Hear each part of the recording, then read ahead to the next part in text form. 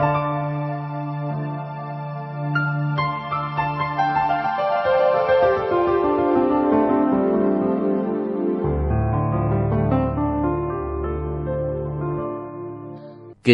Đại Bát Niết Bàn, Quyển 29 Phẩm Bồ Tát Sư Tử Hống, Phẩm thứ 11 Phần 3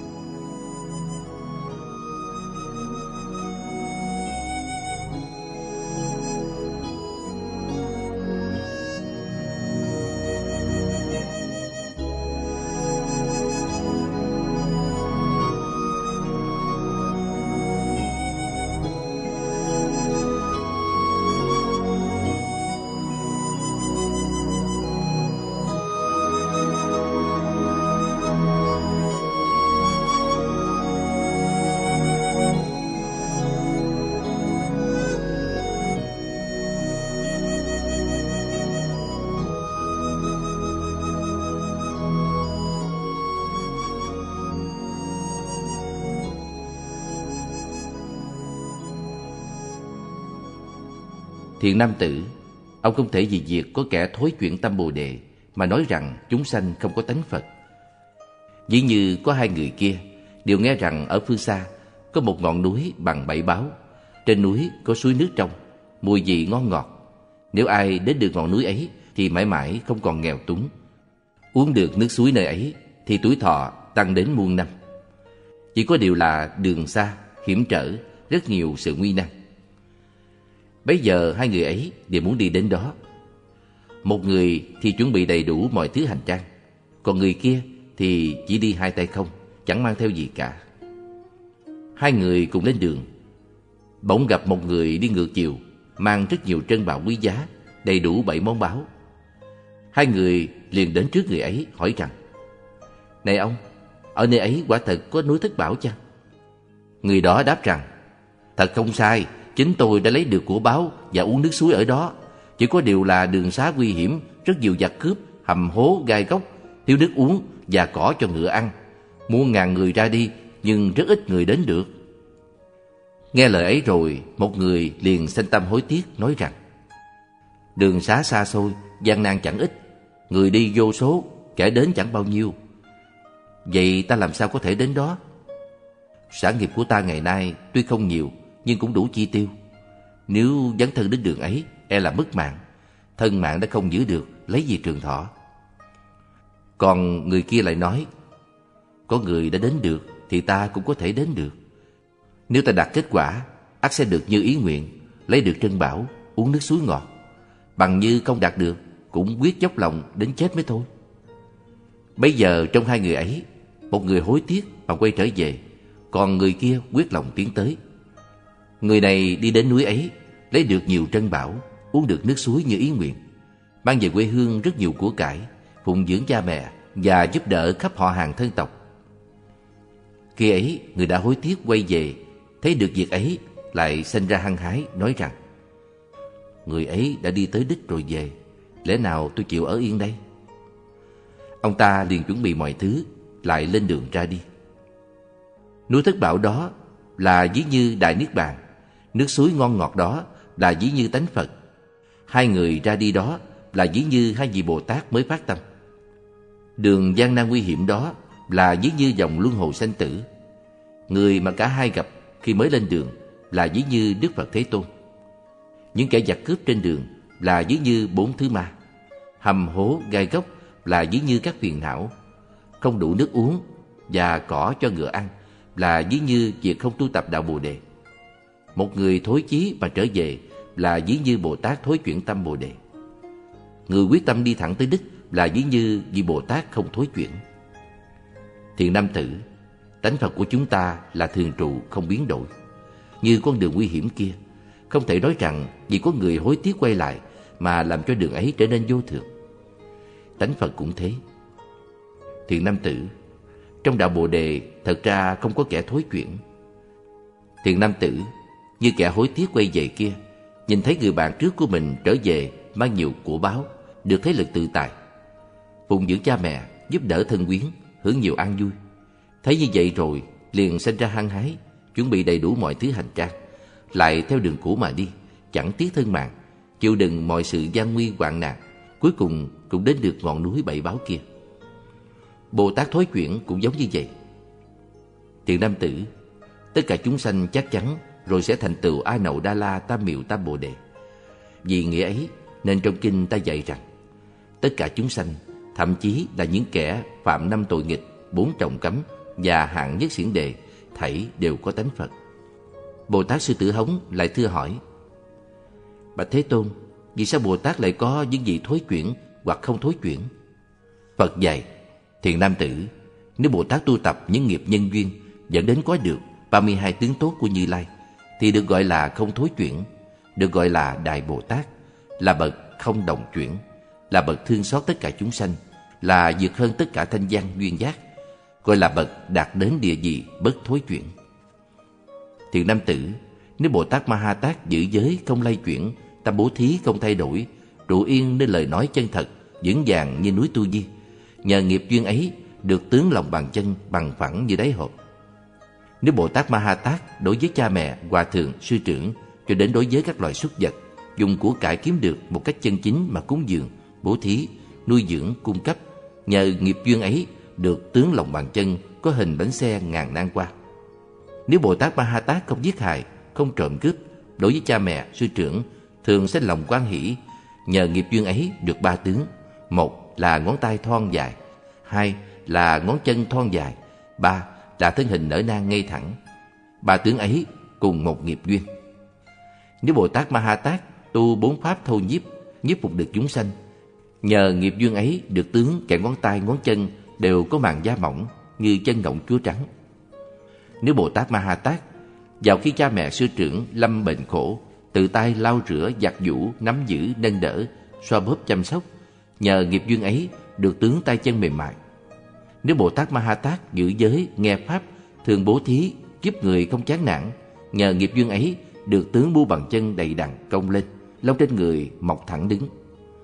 Nếu Bồ Tát Ma Ha Tát chuyên tâm nghe pháp, duyện thuyết chánh đạo, nhờ nghiệp duyên ấy được tướng chân thon dài như chân nai chúa. Nếu Bồ Tát Ma Ha Tát đối với chúng sanh không sanh tâm gây hại, ăn uống biết đủ, thường ưa thích việc bố thí, chăm sóc bệnh, cung cấp thuốc men, nhờ nghiệp duyên ấy, thân thể được cao lớn như cây ni câu đà. Khi đứng thẳng, tay buông xuống, dài quá đầu gối, trên đỉnh đầu có khối thịt mềm là tướng không ai nhìn thấy được. Nếu Bồ Tát Ma Ha Tát thấy kẻ sợ sệt liền cứu giúp, bảo vệ, thấy kẻ thiếu thốn liền giúp cho y phục, nhờ nghiệp duyên ấy được tướng nam căn ẩn kín. Nếu Bồ Tát Ma Ha Tát gần gũi hàng trí giả, lìa xa kẻ ngu si, khéo ưa thích sự hỏi đáp, quét dọn đường xá, nhờ nghiệp duyên ấy được tướng da mỏng và mịn, lông trên mình uống về bên phải. Nếu Bồ Tát Ma Ha Tát thường đem y phục, thức ăn, uống, giường nằm, thuốc men, hương hoa, đèn đuốc mà bố thí cho người khác, nhờ nghiệp duyên ấy được tướng thân màu vàng rồng và tướng thân thường tỏa hào quang. Nếu Bồ Tát trong khi thực hành bố thí sở hữu những vật quý báu đều thí xả không tiếc, không phân biệt người nhận cúng dường bố thí đó là phước điền hay chẳng phải phước điền. Nhờ nghiệp duyên ấy được tướng bảy chỗ đầy đặn, đó là hai lòng bàn chân, hai lòng bàn tay, hai vai và đầu. Nếu Bồ Tát Ma Ha Tát trong khi bố thí lòng không nghi ngờ về kết quả việc làm, nhờ nghiệp duyên ấy được giọng nói êm dịu thanh tao. Nếu Bồ Tát Ma Ha Tát làm ra tiền bạc của cải một cách chân chính, rồi dùng tiền bạc của cải ấy mà bố thí, nhờ nghiệp duyên ấy được các tướng hai nách đầy đặn, thân thể quay nghiêm như dáng sư tử, cùi chỏ tay tròn đầy và nhỏ. Nếu Bồ Tát Ma Ha Tát lìa ra những lời nói đâm thọc, lời nói độc ác và lòng sân hận, nhờ nghiệp duyên ấy được các tướng hàm răng 40 chiếc, răng trắng sạch, đều và khích. Nếu Bồ Tát Ma Ha Tát tu tập tâm đại từ đại bi đối với chúng sanh, nhờ nghiệp duyên ấy được tướng có hai răng cửa ở mỗi hàm. Nếu Bồ Tát Ma Ha Tát thường phát nguyện rằng nếu có ai đến xin điều gì, ta đều tùy ý họ mà giúp cho. Nhờ nghiệp duyên ấy được tướng hai gò má đầy đặn như sư tử chúa. Nếu Bồ Tát Ma Ha Tát tùy theo chỗ cần món ăn thức uống của chúng sanh đều cung cấp đầy đủ, nhờ nghiệp duyên ấy được tướng nước bọt thơm ngon. Dù ăn bất cứ món gì cũng cảm thấy ngon như cao lương mỹ vị. Nếu Bồ Tát Ma Ha Tát từ tu hành mười điều thiện và giáo hóa người khác cùng tu hành như vậy, nhờ nghiệp duyên ấy được tướng lưỡi rộng dài. Nếu Bồ Tát Ma Ha Tát không chê bai những chỗ khiếm khuyết của người khác, không phỉ bán chánh pháp, nhờ nghiệp duyên ấy được giọng nói của Phạm Thiên. Nếu Bồ Tát Ma Ha Tát thấy những kẻ quán ghét mình đều sanh tâm vui vẻ, nhờ nghiệp duyên ấy được tướng trong mắt màu xanh trong. Nếu Bồ Tát Ma Ha Tát không che giấu đức độ của người khác, lại ngợi khen điều thiện của họ, nhờ nghiệp duyên ấy được tướng lông trắng ở khoảng giữa hai chân mày. Thiện nam tử, nếu Bồ Tát Ma Ha Tát tu tập nghiệp nhân duyên 32 tướng ấy, ác được tâm Bồ đề không thối chuyển. Thiện nam tử, tất cả chúng sanh không thể nghĩ bàn, cảnh giới của chư Phật, nghiệp quả và tánh Phật cũng là không thể nghĩ bàn. Vì sao vậy? Vì bốn pháp ấy đều là thường, vì là thường nên không thể nghĩ bàn. Tất cả chúng sanh vì thường bị phiền não che ngăn nên gọi là thường. Vì dứt trừ những phiền não thường có đó nên gọi là vô thường. Nếu nói tất cả chúng sanh là thường, vì sao phải tu tập tám thánh đạo? Vì để dứt trừ mọi sự khổ não. Nếu mọi khổ não đều đã dứt, ắt gọi là vô thường. Niềm vui được hưởng lúc ấy, ắt phải gọi là thường. Vì thế ta nói rằng, tất cả chúng sanh vì phiền não che ngăn nên không thấy tánh Phật. Vì không thấy tánh Phật nên không đạt được Niết Bàn. Bồ Tát Sư Tử Hống bạch Phật, Thế Tôn, như Phật có dạy, tất cả các Pháp có hai loại nhân, nhân chính và nhân tùy thuộc. Vì có hai loại nhân ấy, lẽ ra không có sự trói buộc và giải thoát. Như năm ấm hợp thành thân này, trong mỗi một niệm đều liên tục sinh ra, diệt đi. Nếu năm ấm sanh và diệt liên tục như thế, thì ai là người chịu trói buộc hay được giải thoát? Bà Thế Tôn, do năm ấm này mà sinh ra năm ấm tiếp theo sao? Nhưng năm ấm này từ chúng diệt mất, không chuyển thành năm ấm sau đó. Tuy không chuyển thành, nhưng năm ấm trước có thể sinh ra năm ấm sau. Cũng như nhân hạt giống sinh ra mầm cây, hạt giống không chuyển thành mầm cây. Tuy không chuyển thành, nhưng có thể sinh ra mầm cây. Chúng sanh cũng vậy, làm sao có sự trói buộc, làm sao có sự giải thoát. Phật dạy, thiện nam tử, hãy nghe cho kỹ, hãy nghe cho kỹ, ta sẽ vì ông mà phân biệt giảng giải. Thiện nam tử, khi người ta sắp lìa bỏ mạng sống, phải chịu sự khổ não rất lớn. Họ hàng thân thích dây quanh, khóc kể thảm thiết. Người ấy hoảng sợ, không còn biết nương dựa, cầu cứu nơi đâu. Tuy có năm giác quan, nhưng lúc đó không còn nhận biết gì cả. Toàn thân đều run rẩy, không thể tự kiềm chế. Thân thể lạnh dần, hơi ấm sắp giết. Liền nhìn thấy hiện tướng báo ứng của những việc lành, việc dữ đã làm. Thiện nam tử, nhưng khi mặt trời sắp lặn thì núi đồi đổ bóng về phương đông. Không có lý đạo lại đổ về phương tây. Nghiệp quả của chúng sanh cũng vậy. Khi năm ấm này diệt mất, năm ấm kia tự nhiên nối tiếp sinh ra. Như khi thắp đèn lên thì bóng tối mất, đèn tắt rồi thì bóng tối hiện ra. Thiền nam tử, ví như dùng dấu sáp ấn vào khối đất sét ướt để nung thành đồ vật. Dấu sáp với đất sét hợp lại cùng nhau. Khi nung xong thì dấu sáp mất đi, hoa văn trên vật nung hiện ra. Nhưng dấu sáp ấy không biến mất vào đất sét, còn hoa văn kia không phải từ đất sét ra, cũng không phải từ nơi khác đến. Do nhân duyên là dấu sáp nên tạo thành hoa văn ấy. Năm ấm hiện tại diệt mất thì năm ấm của thân trung ấm sinh ra. Năm ấm hiện tại không biến thành năm ấm của thân trung ấm. Năm ấm của thân trung ấm cũng không phải tự sinh ra, cũng không phải từ nơi khác đến. Do nhân là năm ấm hiện tại nên sinh ra năm ấm của thân trung ấm. Cũng như dấu sáp kia in vào đất sét. Dấu sáp mất đi rồi, thành ra những hoa văn. Tên gọi của năm ấm trước sau tuy không khác, nhưng thời điểm và điều kiện đã khác hẳn. Cho nên ta nói, năm ấm của thân trung ấm, mắt thường không thấy được, chỉ thiên nhãn mới có thể thấy. Chúng sanh mang thân trung ấm có ba cách ăn. Một là ăn bằng sự suy tưởng, hai là ăn bằng sự xúc chạm, ba là ăn bằng ý niệm. Có hai loại thân trung ấm, một là do quả báo của nghiệp tốt lành, hai là do quả báo của nghiệp xấu ác. Nhân nơi nghiệp lành mà được các giác quan tốt đẹp, nhân nơi nghiệp xấu ác mà có các giác quan xấu ác. Và lúc cha mẹ cùng nhau giao hợp, tùy theo nghiệp nhân duyên mà thân trung ấm hướng đến chỗ thọ sanh. Thần trung ấm ấy, đối với mẹ sanh tâm ái luyến, đối với cha sanh tâm sân hận. Vào lúc người cha xuất tinh, liền cho tinh trùng đó là thân mình hiện hữu, nên nhìn thấy rồi sanh lòng vui thích. Do ba loại nhân duyên phiền não là ái luyến sân hận và vui thích, nên thân trung ấm liền diệt mất. Ngay khi đó sinh ra năm ấm tiếp theo sau. Cũng như dấu sáp in vào đất sét, dấu sáp mất rồi thì qua văn hình thành. Khi chúng sanh được sinh ra, các căn có thể đầy đủ hoặc khiếm khuyết. Người có đủ các căn, khi thấy hình sắc thì khởi lòng tham muốn. Vì khởi lòng tham muốn nên có ái luyến. Vì bị hình sắc mê hoặc nên sanh tham muốn, đó gọi là vô minh. Do hai nhân duyên là tham ái và vô minh nên mọi cảnh giới chúng sanh nhìn thấy đều là điên đảo. Như vô thường thấy là thường, vô ngã thấy là ngã, không vui thấy là vui, không trong sạch thấy là trong sạch. Vì bốn sự điên đảo ấy mà làm ra những việc lành dữ.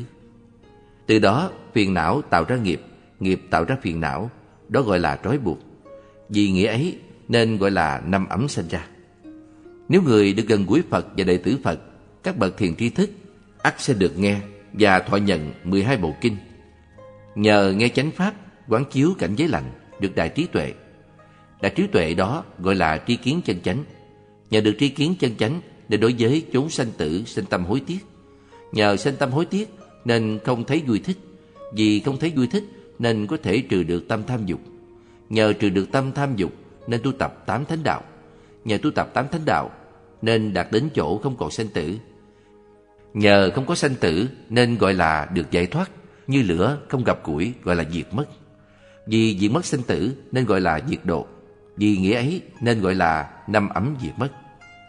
Bồ Tát Sư Tử Hống lại thưa hỏi, Bạch Thế Tôn, như trong không trung không có gai, làm sao gọi là nhổ gai ra?